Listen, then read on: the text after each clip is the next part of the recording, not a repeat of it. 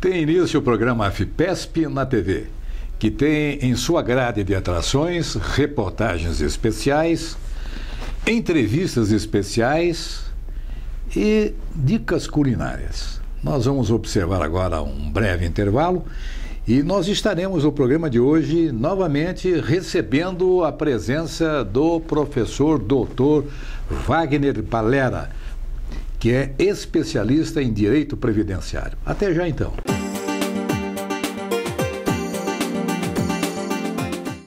Olá! O presidente da FEPESP, Antônio Carlos Duarte Moreira, recebe para uma entrevista exclusiva Wagner Balera, que é professor livre docente e doutor e mestre em Direito pela PUC de São Paulo. Tema da entrevista é a Previdência Social assunto que tem tomado os noticiários e as principais mesas de debates do Brasil. Aproveite mais esta entrevista exclusiva do programa AFEPESP na TV.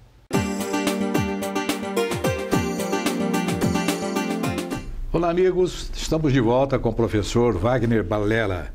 Professor, é uma grande alegria, diria uma grande honra em recebê-lo novamente, viu? Professor, qual a sua opinião sobre os sistemas de previdência geral e o próprio. Ele é deficitário? É, eu tenho insistido que, quanto ao regime geral, que, cujos dados são, digamos, mais globais, né, porque é o regime brasileiro para os trabalhadores em geral, o pessoal CLT, digamos assim, o regime geral não é deficitário. O regime geral tem a sua arrecadação baseada nas chamadas contribuições sociais, e a receita das contribuições sociais é suficiente para bancar as despesas da previdência, da saúde e da assistência social. Tanto que havia, como eu sublinhei na sessão passada, havia um desvio de recursos através da desvinculação das receitas da União e que agora, com a nova redação da PEC, esse, desvio acaba. Portanto, o que havia não era falta de dinheiro, era desvio dos recursos do sistema de seguridade social. Só para terem uma ideia, no ano 2018, segundo a proposta orçamentária de 2018, esse desvio seria de 118 bilhões. Então não dá para se falar em déficit em um lugar onde estão tirando 118 bilhões. Então é falso que exista um déficit no regime geral. Para apurar o, o, o, o, regime dos servidores públicos é um pouco mais complexa a situação, porque os, os, regimes estão espalhados em estados e municípios e que, portanto, cada qual apresenta uma, uma realidade. Devem existir regimes próprios que, que tenham é, viés de déficit, assim como devem existir regimes que tenham superávit. Então, não é possível uma afirmação categórica nessa, nessa, nessa magnitude. A verdade é que também quanto a esses regimes já houve uma estruturação muito séria do aspecto atuarial, que às vezes estava um pouco solto, houve um trabalho de reconfiguração atuarial desses regimes. Então aí é uma questão de ajuste. Se for deficitário, tem que haver ajustes para reequilibrá-lo, que é o ideal do sistema previdenciário. Professor, por que tanto interesse que a iniciativa privada e principalmente os banqueiros têm com a reforma previdenciária. Qual é a sua leitura sobre isso? Então, na verdade, existe um mercado. Né? Porque previdência, embora nós tenhamos nossa cabeça, nós os, as pessoas temos, nós brasileiros temos essa cabeça, previdência é um direito. Sim, é um direito que eu contribuo e tenho direito. Parece sempre na nossa cabeça que é um direito social. Portanto, um direito onde o Estado tem que, de algum modo, estar presente, velando para que esse direito seja cumprido. Mas é também, não se pode negar, um produto. Um produto como é o plano de saúde. O plano de saúde é um produto. E o plano, e o plano previdenciário também pode ser um produto. Ora, esse produto é, tem um potencial imenso que no Brasil ainda é mal explorado. É, em outros países já há um, um mercado enorme de previdência privada. Ele tem crescido, mas ainda é incipiente. Portanto, na medida em que o regime geral e o regime dos servidores públicos começarem a, a sofrer abalos nas suas estruturas, e esses abalos vão sofrer se, se esses regimes perderem o seu, o seu grande crédito, que é a credibilidade, as pessoas vão naturalmente migrar para o regime privado, que é dominado pelos, pelos hum, agentes financeiros. Então, eu acho que essa, essa é a questão, é uma questão mais mesmo de mercado. Mas, professor, é, falando, voltando na previdência dos servidores públicos, o que é que o senhor preconiza para uma reforma que venha a ser uma reforma justa, correta? Então, as pessoas não gostam de ouvir falar nisso, mas é indispensável que haja um item, pelo menos, em qualquer reforma previdenciária. É o da fixação de uma idade mínima para as aposentadorias. Não me perguntem qual seria essa idade mínima, porque eu não vou responder. Essa, isto é um debate ao mesmo tempo técnico e político. Mas não é possível coexistir um sistema de previdência no terceiro milênio sem o estabelecimento de uma idade mínima para as aposentadorias. Só para terem uma ideia, quando foi editada a Lei Orgânica da Previdência Social em 1960, 1960 foi estabelecida uma idade mínima, 55 anos. Se essa idade mínima tivesse sido mantida, nenhum dos problemas que a Previdência tem hoje existiria. No entanto, lamentavelmente, essa idade mínima foi eliminada, gerando uma enorme massa de aposentadorias precoces. É um dado objetivo, não é uma questão de opinião, estão aí os dados. Então, qualquer reforma deve estabelecer uma idade mínima igual para todos, porque também há uma discussão aí que os senhores devem acompanhar. Ah, essa diferença entre homem e mulher. Pode ser que isso tenha uma razão sociológica, eu conheço a razão sociológica, mas não existe a razão técnica. A razão técnica é a seguinte: as mulheres vivem mais tempo do que os homens. Então, existe uma diferença de idade, não tem muito sentido técnico. Mas, como eu digo, o argumento a ser considerado é, é político não é técnico, é político e técnico. E no componente político, naturalmente, os grupos de pensão vão fazer o possível para manter as suas diferenças. Mas uma verdadeira reforma deve estabelecer uma idade mínima para as aposentadorias.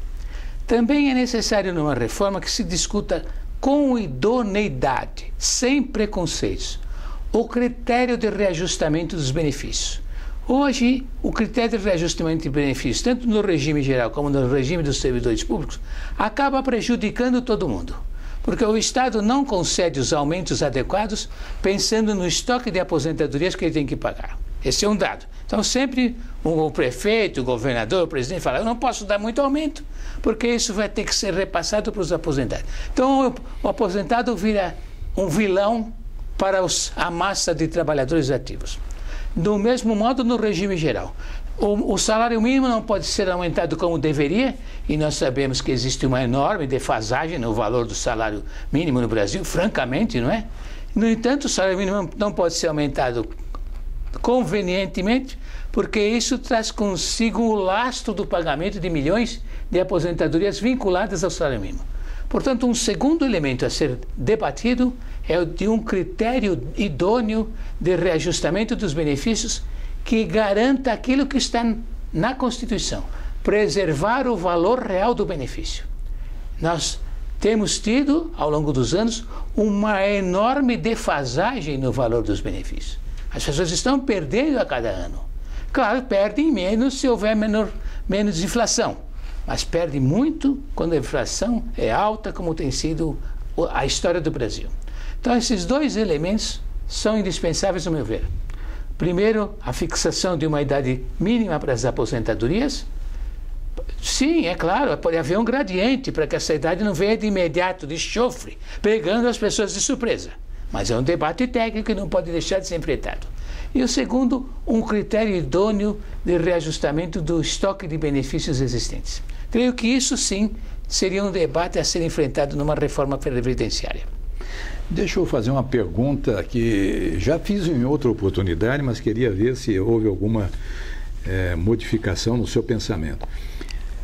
Há possibilidade para as futuras aposentadorias, nós temos aí um plano individual capitalizado que não seja solidário e muito menos é, de contribuição compulsória?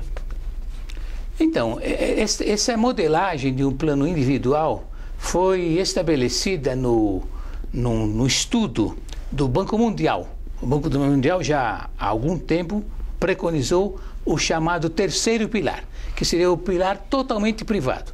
Você vai a, um, a um, uma instituição a, autorizada de previdência e faz um plano seu, individual, sob medida, digamos assim, onde você vai fazer a capitalização individual.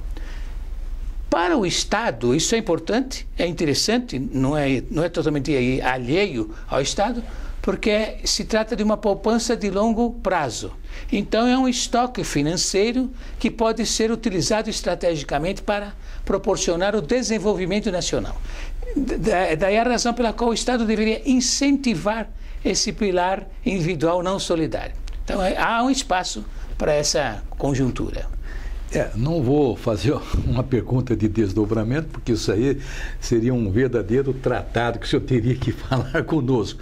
E o programa está praticamente chegando ao final. Eu coloco à sua disposição para as suas manifestações finais. Então, acho que todo esse debate exige um tempo para que nós nos acostumemos com essa ideia. A ideia de que uma reforma previdenciária verdadeira é indispensável para a garantia do futuro do trabalhador. Então, nós não podemos ter nenhum preconceito de não aceitar nenhuma reforma, nem a ilusão de que o que está sendo proposto é contra nós. O, o, o, que está, o que vier a ser proposto deve ser para a garantia das gerações presentes e das futuras. Para nós foi muito prazeroso falarmos com o professor Wagner Balera. Muito obrigado, professor, pela sua riquíssima participação com informações em nosso programa. Muito obrigado e continue aqui na AFPESP na TV com a sua grade de programação. Olá! Hoje faremos um passeio por Minas Gerais, distrito de Monte Verde, no município de Camanducaia. Essa cidade mineira, muito procurada pelos turistas e considerada a Suíça brasileira, é mais um endereço da AFEPESP. A pousada Moinho Velho foi comprada em outubro de 2015 pela atual diretoria, em Planejamento Arrojado de Turismo Associativo, na qual os investimentos estão voltados em unidades diferenciadas no estilo Charme. Logo em dezembro do mesmo ano, a unidade começou a receber os primeiros associados. O sucesso foi absoluto por suas confortáveis instalações, o café da manhã estendido e a ceia noturna.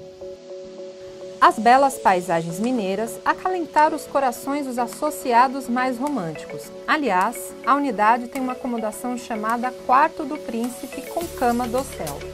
A experiência de hospedagem é única e inesquecível. Essa maravilhosa unidade foi oficialmente inaugurada no dia 24 de fevereiro, com as presenças de diretores, conselheiros e coordenadores. A solenidade contou com a bênção do padre Leandro Raimundo da paróquia de São Francisco de Assis, que falou de gratidão pelo trabalho, desejando boas vibrações aos associados.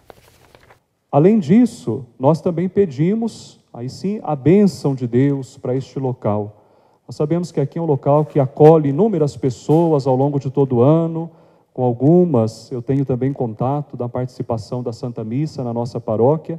Então nós queremos pedir essa bênção para que todas as pessoas que aqui venham possam encontrar realmente um conforto para o corpo, para a alma, uma renovação interior, de tal modo que ao retornarem para suas casas, os seus trabalhos, possam se sentir melhor e cooperar para a construção de um mundo, de uma sociedade melhor. A fita inaugural, o descerramento das placas da diretoria, conselho e patrono foram feitos pelos diretores da AFEPESP,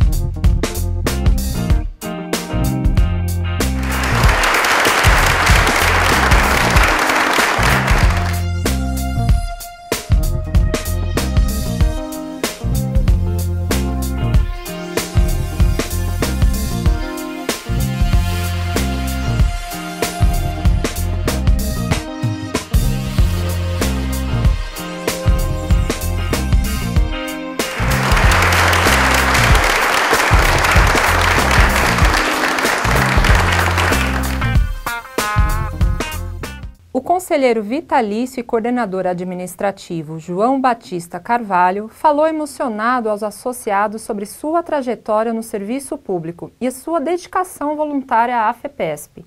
Também agradeceu a homenagem e ao companheirismo de sua família. Mineiro, eu sou mineiro, vocês sabem, sou de Poços de Caldas.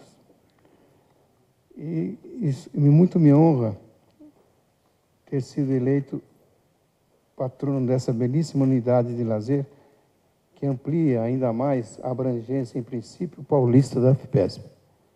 E não poderia deixar de dedicar um agradecimento especial ao nosso presidente, Antônio Carlos Duarte Moreira, pela, pela indicação que foi referendada por toda a diretoria executiva, bem como caríssimos componentes do Conselho que a acolheram por unanimidade.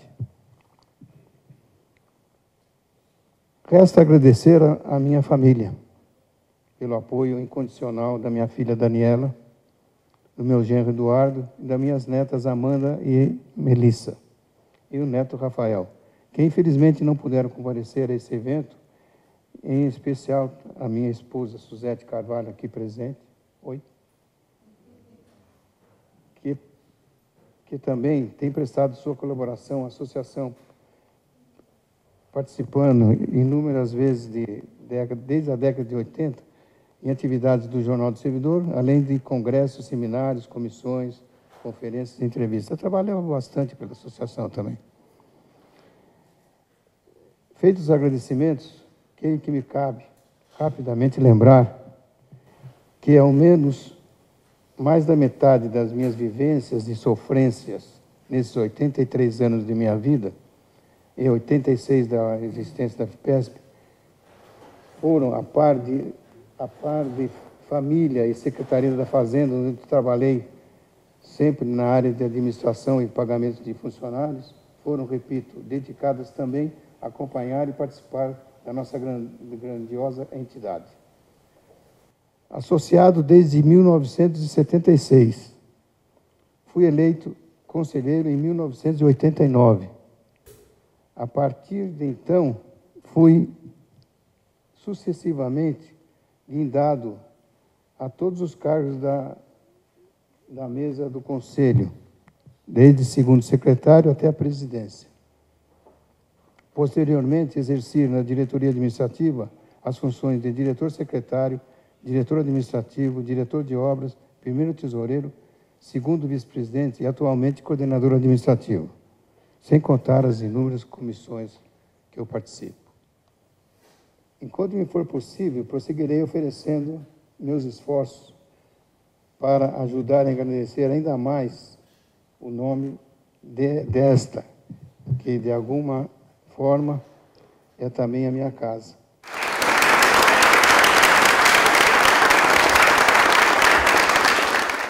O coordenador das unidades de lazer, Reinaldo dos Anjos, em seu discurso, parabenizou o anteprojeto de ampliação de acomodações em Monte Verde e ainda descreveu um pouco das atrações do local. Também elogiou a administração do presidente Antônio Carlos Duarte Moreira. E, em sendo assim, o senhor presidente teve também a oportunidade de nos trazer ao conhecimento de um estudo e já um anteprojeto para uma ampliação para novos apartamentos aqui. É significativa essa atitude porque estamos é, melhorando, valorizando o que já temos, que é um próprio nosso, e nós temos que aproveitar as áreas disponíveis para podermos atender uma maior demanda dos nossos associados. É um trabalho profícuo. Eu reconheço do seu presidente um, uma disponibilidade de energia muito grande, porque de tudo ele participa, acompanha, é, objeta as questões. Então, nós só temos que dar parabéns a ele.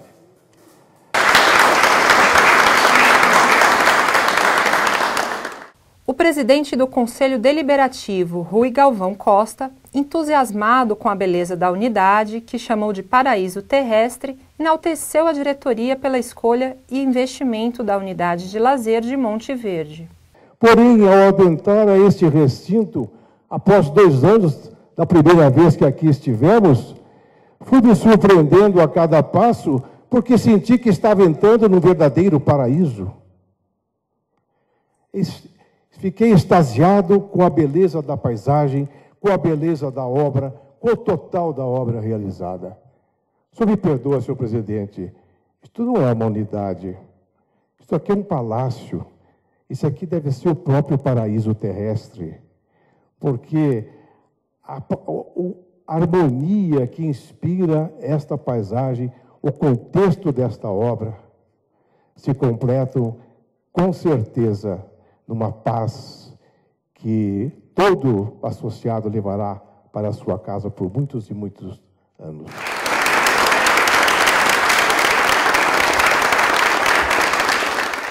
O vice-presidente do Conselho Fiscal, Yasu Sugimoto, no ato representando o presidente Luiz Sérgio Esquiáquero, parabenizou a diretoria por cumprir metas de ampliar as vagas da unidade de lazer.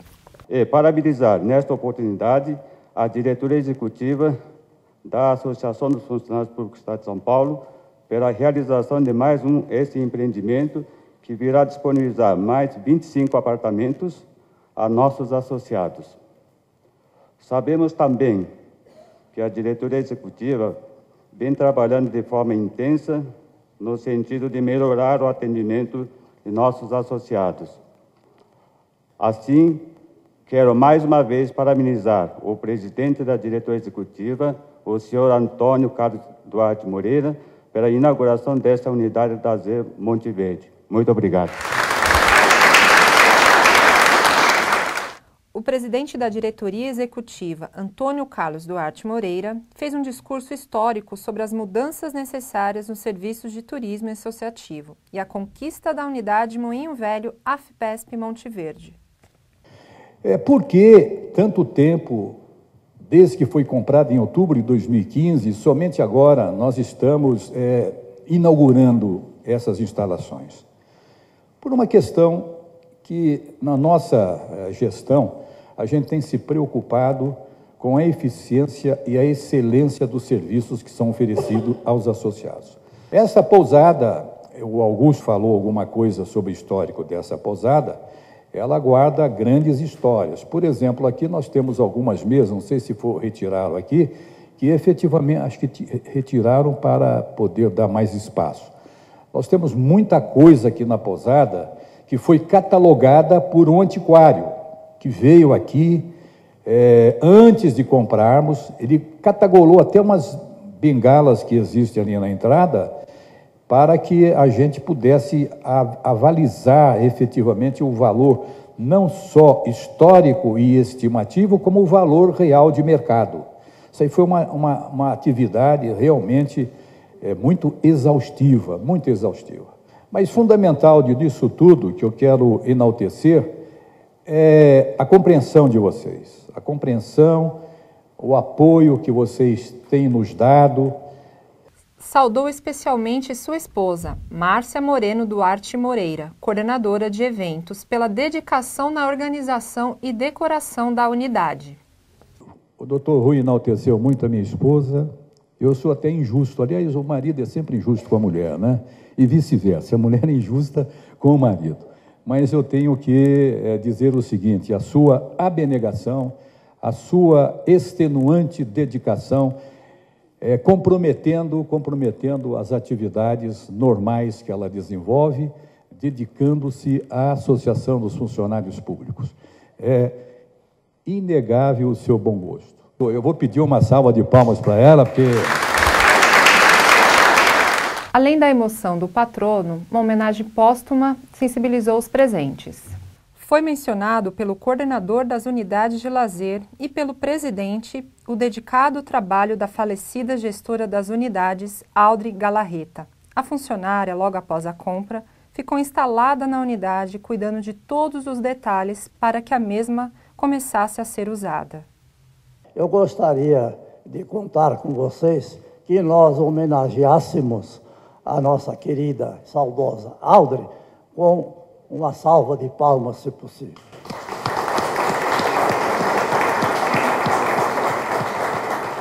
A unidade Moinho Velho AFEPESP Monte Verde é uma conquista da categoria. Sua inauguração marca a gestão do presidente Antônio Carlos Duarte Moreira, pelo seu empreendedorismo e criatividade. Parabéns, AFEPESP! Fique agora com imagens dessa maravilhosa unidade, AFEPESP Monte Verde.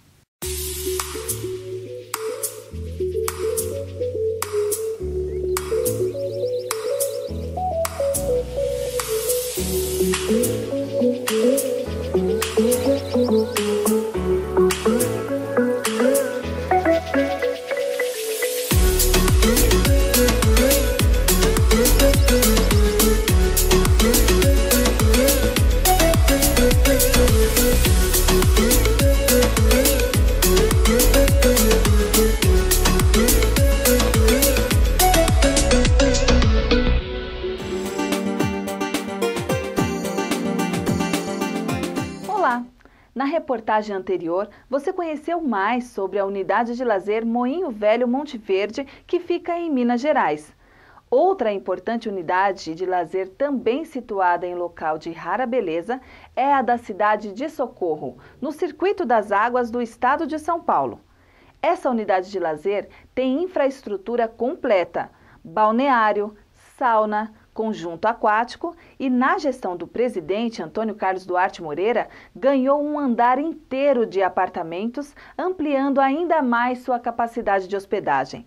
Se você gosta da natureza e conforto, escolha a unidade de lazer de Socorro e reservar sua viagem é muito simples pelo site da AFPESP no banner Flex Reserva. O outono chegou e as temperaturas são agradáveis nessa região do estado. Fique com imagens selecionadas da unidade de lazer AFPESP Socorro. Obrigado por sua audiência. Até a próxima semana.